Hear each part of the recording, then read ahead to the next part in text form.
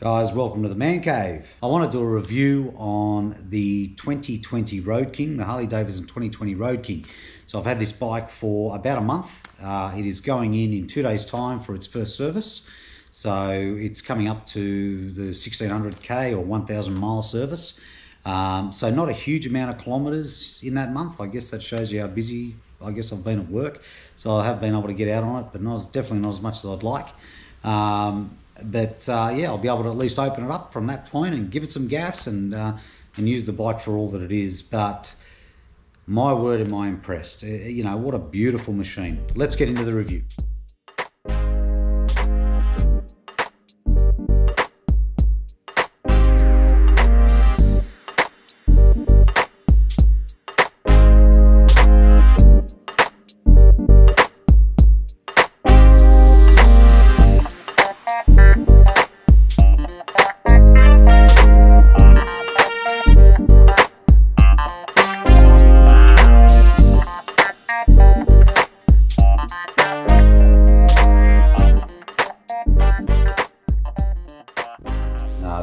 Couple of uh, color variances that you can choose from. I just love the black. Uh, you know, apparently 80 85% of the Harley Davidsons sold worldwide are black. So I guess I joined that club. But, uh, you know, really, how do you beat a black bike? How do you beat a blacked out motorcycle? I mean, you know, they just look awesome, really. I mean, let's talk about um, you know some of the things that I've added to the bike. So most of it actually, and that's what I loved about this motorcycle is that most of it is actually stock standard. So actually, as you see it, is pretty much how the bike comes aesthetically. You know, there's not really a lot to talk about in, in relation to that, but there is some things that I have added to the bike. There were personal touches that I wanted to do uh, to make it my own little bits and pieces that were not too gimmicky, that uh, sort of give it some more class. That is the rear of the 2020 Road King. Um, let's talk about the pipes. So the pipes I didn't want uh, pipes that were too loud. Rinehart slip-ons, that's all they are. They're just a slip-on.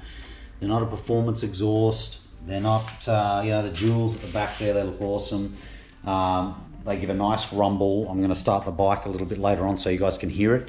Um, you know, that's just, that's it. Simple slip-ons, um, more cost effective. I didn't need to spend thousands. It's not a performance race bike. Um, they do sound a little bit like a sewing machine, Harley Davidsons, when you do buy them brand new and stock. So I just wanted to fix that problem by giving it a little bit of growl. So that's been done. Um, number plate, I love my number plate. You know, a lot of people hide it. I'm pretty proud of mine. Double OHD, you know, it's the zero zero Harley Davidson. You know, that was something that I was fortunate enough to be able to get. Um, let's just cruise up the back here. So docking hardware. So I've actually got the sissy bar, which I'm going to show you a little bit later on that clips onto these. This docking hardware is not standard, so they put these guys on there. Uh, what uh, I have added to that docking hardware is these caps. So if we take these off, they're just a magnetic cap and they just pull off. That's all it is, magnetic cap. Um, that's how they look, standard. That's how they look with the cap. So they're just a little bit more finished when you don't need to have the sissy bar on. Um, my little bolt here, these seat bolts, you know, standard, they're just pretty ugly, horrible things. I don't know, I'm sorry, I don't know if you can see that, but just trying to get the right angle of it. But, um, you know, that's a Harley Davidson product. You can buy many different bolts. That's classy and simple. I love that one. Uh, the 2020 Road King has been out for a couple of years now. It's got the dropped uh, saddlebags. So they're the, the extra room bags. They go over the exhaust at the rear, so it looks pretty cool. Uh, so that's that at the back end with the pipes. As we move forward, uh, up here, this is all standard. The gauges are standard. The stock clock, as I call it, I have ordered the new one. Uh, it is on back order from the United States. Um, you know, they're having some delays over there in Milwaukee. Apparently, they've changed the ordering system with Harley Davidson. There's like seven or eight thousand products around the world on back order, but the uh, the new gauge that's going to go in there is pretty cool. This one's pretty basic. It's got a bigger LED down the bottom here and some color change options and stuff like that. Uh, the reason that one's on back order is because the 2020 Road King over here on the lever has traction control, which is what this button is here. Uh, so it's, it's a button that you can flick in wet weather. Uh, that just gives the bike that more traction, so you're not slipping as much. They've all got traction, traction control, I believe, but I think that just enhances the traction control. Uh, so it just makes the bike a bit safer in, in wetter conditions. Um, so back down here, love the style of this motorcycle. I mean, it's just originally, just original Harley Davidson. You know, the Road King is just such a beautiful bike to look at. You know, it's it's heritage. It's got it just talks about the history of Harley Davidson. When you look at the bike, um, that's what I love about it. It's just to me, it's a Harley through and through. They've gone really traditional with the, you know, the the, the badging, um, which I love. Down here on the air cleaner, um, all I did with this guy was I changed the strip here. Um, the original strip that came on it you know, it, it, shows the 114 motor that it's got, the 114 cubic inch motor. This was it. It's now a wall plaque. So that's actually what comes standard on it. Um, so anyway, change that out just to black it out. I just think it looks a bit cooler with the, you know, the black uh, on the air cleaner. I didn't want to put a new air cleaner on aftermarket or Screamin' Eagle. I just went with the stock. So yeah, what else we got here? Harley Davidson, Milwaukee pretty standard I'd say. Milwaukee 8 motor, the 114, plenty of power. Uh, love the blacked out engine too, the blacked out engine tops, if that's what you call them. I'm probably getting half this terminology mixed up, so excuse me for doing that.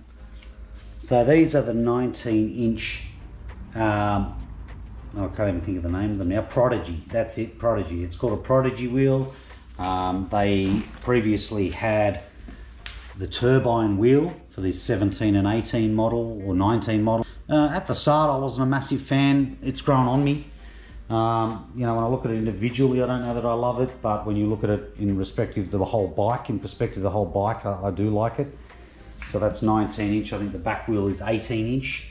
Um, the Brembo ABS brakes. So the brakes are actually pretty awesome. Harley never used to be that great with braking um, but they, they now are. So that's, that's the other side view of the Prodigy wheel.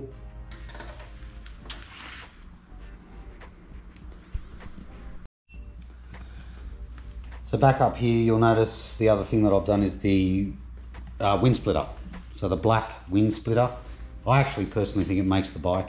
If you have a look at it, I think it, uh, it finishes the bike off nicely. Without it, it sort of looks a bit plain. I mean, that's sort of how I first chose the bike. But now that I've put it on, I think I'm going to leave it on. Um, hey, girls. So I've taken it on and off a couple of times. Um, I don't know. I just seem to love it with that on now. I just think it looks beastie. I don't know. Put some comments in. Let me know, let me know what you guys think. I, I, I you know, I'd love your opinion too. Uh, while I'm at this front end, you will notice that the headlight is also not standard. That is uh, as you know, Harley Davidson have had the Daymaker for, for, for a number of years now, the Daymaker headlight. Um, this headlight here is a Daymaker, it's an LED Daymaker. However, this particular one it's the adaptive LED Daymaker. So let me flick that on and I'm going to show you something else that I've done to the bike.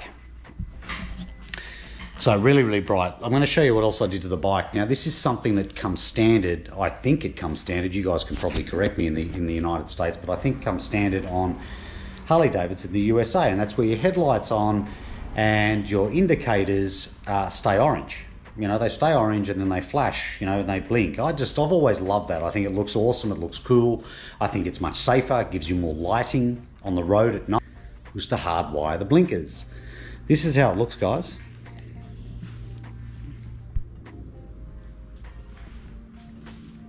I love it. At night, it just makes you so much more visible. You know, your, your orange lights and your headlights. I mean, look at that headlight, you? Look how fantastic that is. Adaptive is these, from the center, if we looked at it like a clock, around this side, we've got six LED headlights. And around this side, we've got another six. Now, as you're coming in and you're cornering, let's say you were cornering left, as your take coming into a left corner and the bike starts to lean, these six here will light up and they will shine in, trying to get my thumb right, they will shine in this direction, obviously to light up the corner. Now if you're turning right, same thing will apply. These six here will light up and it works on that sort of lean angle.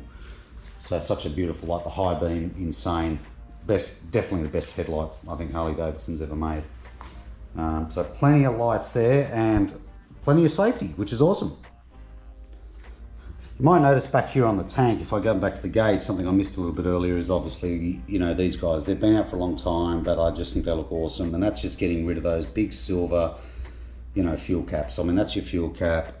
Um, I don't know, is that for orange juice or Coca-Cola or, or whatever? I don't know what you do with that. That does nothing. I think it's just aesthetics. But these flush mounted caps, they just finish the tank off. If you look at the tank in perspective, I just think it just makes it clean. It just cleans it all up um, you know, you have these silver caps on a blacked out bike, not cool. Anyway, that also lights up. If I turn this power on now,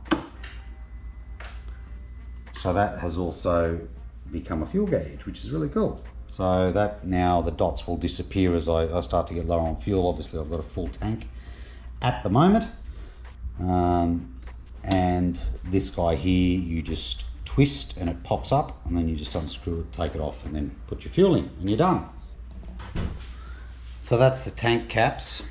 Anyway, what else have I done here? Okay, so let's have a look quickly at the handlebars. Pretty basic mod, but grips, Defiance Collection grips, I think that's what they're called. And the mirror.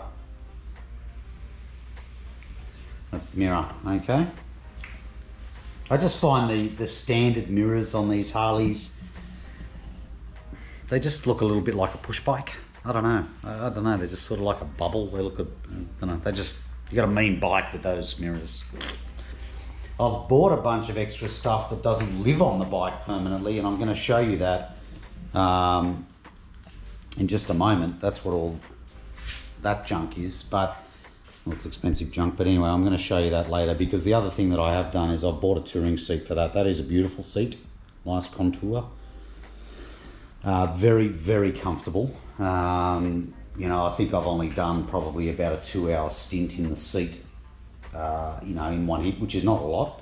Um, but I had no reason to get off the bike. I mean, it was absolutely comfortable, beautiful. The seat that I've bought is called the hammock seat. I'm going to put it on. Um, it looks like a toaster, but anyway, it does definitely doesn't look as beautiful as that. But for touring, namely for the pillion, because that's quite a slim, low-lying seat. Uh, you know, it sort of does contour into the tail, thins out at the back area here. Um, so obviously it can be, you know, after about an hour, I think you get a little bit bump sore as the pillion. Not that I've done, but I get the report from my wife that that's the case. So this uh, the hammock seat should hopefully solve that problem. We haven't toured on it yet. I only got it two days ago. Um, but that's it. There's your 114 on your primary cover down there. I think that's what they call this thing, a primary cover. But anyway, that's your 114. Floorboards, love the floorboards. Ground clearance is actually pretty impressive. They've either, I think they've angled the floorboards, they've lifted them up a little bit to give you that little bit more clearance, which is which is good. That's it. I'm just having a look over the bike to see if there's anything else that I've added that I've missed. Uh, and I don't actually think there is. So that's what I mean. There's really not a hell of a lot to do with these guys. Um, you know, that's that's pretty stock as you see it. That's pretty stock as they come out. Uh, which you know, well done to, to, Harley Davidson. Well done on that for Harley. You know, that's that's great. They're listening to the consumer. You know, they're seeing what the guys, what we're doing to bikes. You know, boys and girls are buying these things and they're blacking and they're doing all these things. So why not just make a special? Why not just listen to the market and you know, these bikes are expensive enough, you'd have to agree. They're expensive enough to buy and get your hands on anyway. You know, uh, my first Harley, you know, the guy looked at me when I bought it and he shook my hand and he said, Congratulations on your first Harley. You know, he said, You do realize the bike is the deposit. And I said, Sorry, can you just explain that? he said to me, Well, have you seen the parts book? You know, I think back then it was 800 pages. I think it's probably nine or a thousand pages long now. Um, you know, it's like a telephone book. I mean, it's amazing. It's awesome. It's a great place to go go flicking through. But he wasn't wrong. I think that first Harley, I, I would have done nearly 20,000 in upgrades on that bike. Um, you know, once you get started, you do one bit, you want to do the next bit. So it's quite amazing. That's why it's awesome. I think they they do these specials. I mean, you've got CVOs, you know, which I've had a few of those. I've had a couple of different CVOs over the years, you know, and they are awesome. That's obviously, you know, where CVO was founded, was looking at what consumers are spending on Harley Davidsons, what they're doing, what are the favourite components, and, and let's build a bike. That's really the foundation of a, a CVO Harley. But they don't always have exactly what you want on them. You know, really, they're, they're, you know, that's just my. I've had a few of them, and that's just how I feel. I think the specials are probably better value. Um, you know, they're, they're, they're about ten in Australia. They're about ten thousand dollars cheaper than a than a CVO bike. Um, you know, and they're still pretty kitted out. And whatever you don't have on it, you can put on it. I definitely haven't spent ten thousand uh, dollars, ten thousand dollars on extras to get that to the price of a CVO. I can tell you right now. I mean, there, there, there probably is between all of that, probably three or four thousand dollars. I'm guessing. Um, you know, they're just little things. I mean, you know, it's the same all over the world. Harley parts are expensive. You know, there's a lot of videos and talk on that, but they make a quality product the windscreen. You know, I mean, that was six hundred and sixty dollars. They're not cheap. You know, um, everything, every little bit's expensive. You know, your, your, your little hand grips. You know, they're two hundred and twenty dollars. You know, for hand grips. So everything is expensive. The headlight, yeah, let's not go there. You know, I think that was about one thousand four hundred dollars for the headlight. So it was pretty expensive, but you know, you love your bikes, right? So you know, work hard, you can afford to do this stuff. And um, let's just have one more quick roundup. Look at the special. I'm going to show you what it looks like with this hammock and also the backrest. So we'll cut to that in a sec.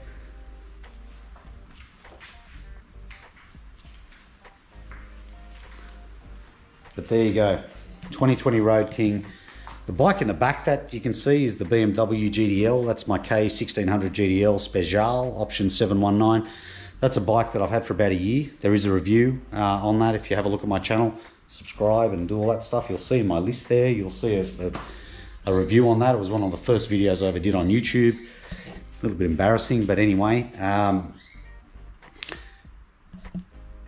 I mean, that, that, that is also an amazing bike, yes. As far as touring goes, I don't know that that bike can probably be beaten, really, but depends what you're after.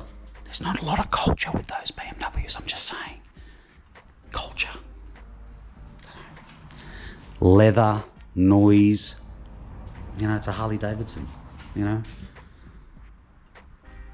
Cult culture.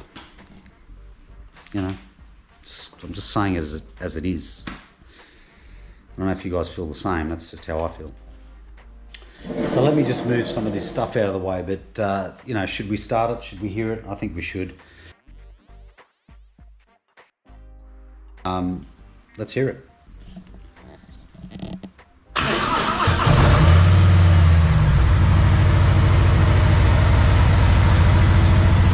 Nice rumble, not too loud, yeah?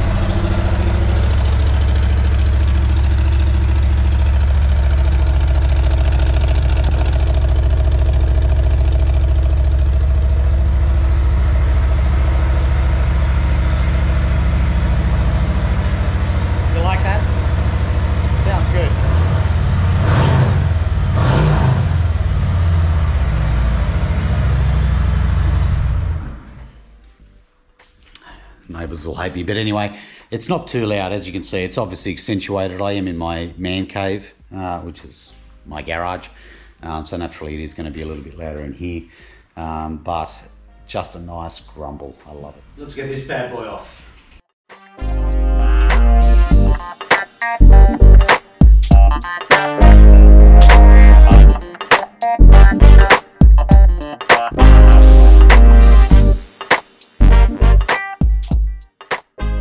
Hammock seat, sissy bar, rack.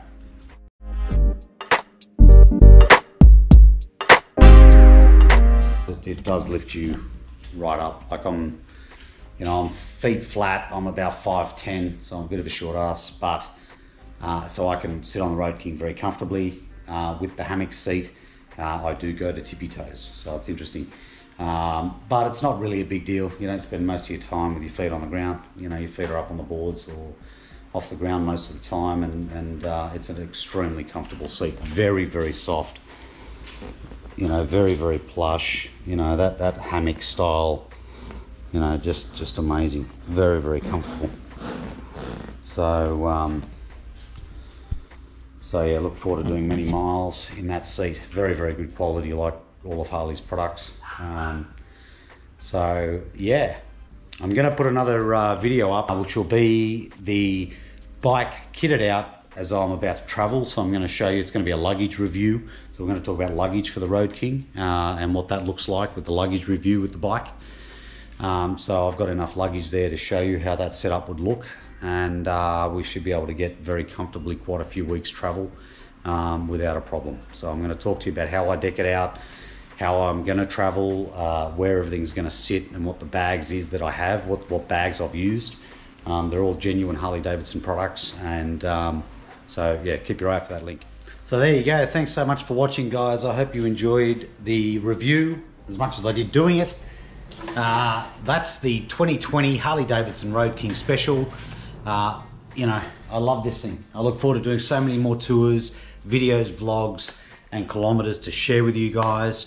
Um, I hope you enjoy them. If you did, please like, subscribe, you know, hit that bell thing, whatever everyone says. That'd be really appreciated just for some support. Take it easy. Have a good day. See ya.